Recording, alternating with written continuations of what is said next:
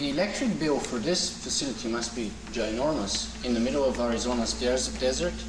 Well, for the offices, yes, but these actually don't use any electricity. The alarm systems use electricity, but we don't need those to maintain the temperature.